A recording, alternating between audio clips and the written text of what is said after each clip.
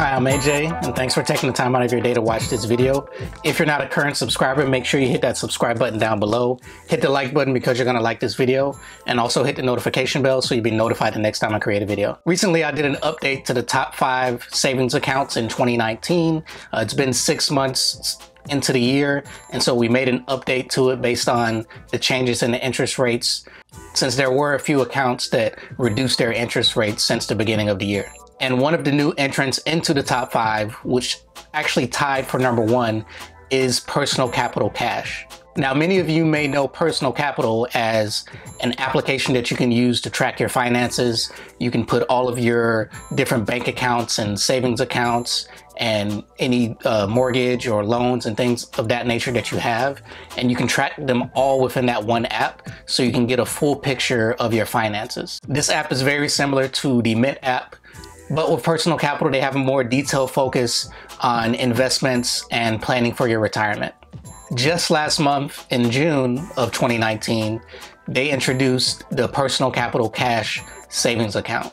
Now, with this savings account, you're getting a 2.3% interest rate, which is currently one of the best interest rates that you can get for an online savings account that also doesn't have any fees, doesn't have any local banks that you can access. So as far as online savings accounts, this is one of the best that you can get without having any fees. There's no minimum deposit that you have to have in order to maintain the account. Uh, you only need a dollar just to open the account. And then after that, it can be as low as you want. It can be even zero.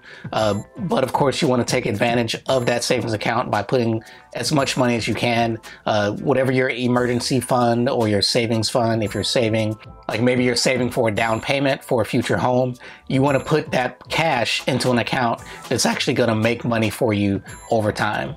Now, you actually have the option to have a 2.35% interest rate if you are a personal capital advisory client. So personal capital also has wealth management options where you can actually, you know, speak to financial advisors and they can invest their money for you. Um, that's not a part of the service that I actually use. I pretty much only use personal capital just like I use Mint to track my finances, track any loans that I have, like student loans or mortgage, and that way I can get a full picture of my finances. But once I saw that they did have the savings account, I figured I'd go ahead and check it out and just create an account. And that's another great thing. If you're already a personal capital user, it is really easy to set up the savings account. Because you already have your checking accounts and other savings accounts linked to personal capital for tracking purposes, it's really easy. All you have to do is actually select one of those accounts that's already connected to personal capital. And it's really easy because they already have your login information and your bank account information when you first set it up so that personal capital could track your different accounts. So if you are looking for a new savings account or something that's going to get a higher interest rate than the current bank account that you have, definitely check out Personal Capital Cash. It is one of the highest for online savings accounts, and it's currently 23 times higher than the national average for your typical bank uh, savings account. Now, one thing to note is Personal Capital isn't their own bank, so they're actually using the services of a bank called UMB. They are the service provider for your actual bank account, and that's where your funds are held.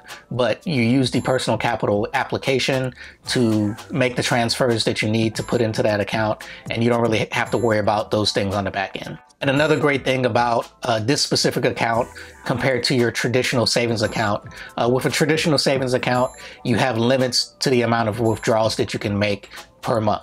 And that's a federal limit of six withdrawals per month.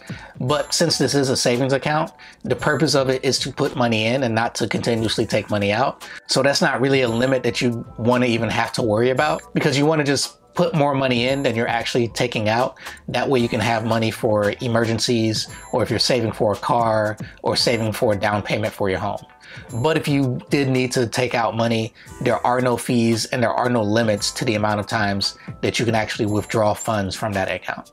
So this was just a quick video to talk about the new personal capital savings account. with the other accounts that were in my update to the top five savings accounts of 2019. The other four I had already done a review of, and you can see that. Make sure you check that video out if you haven't seen it yet. Um, but I wanted to do this video to provide a little bit more details about the personal capital savings account itself since it's an account that just started back in June of this year. All right, thanks for taking the time out of your day to watch this video. I really appreciate it because you could have been doing anything else with the time in your day. If you're not a current subscriber, make sure you hit that subscribe button down below. Hit that like button because you really like this video and hit the notification bell so you'll be notified the next time I create a video. All right, thanks for watching guys. Have a great day.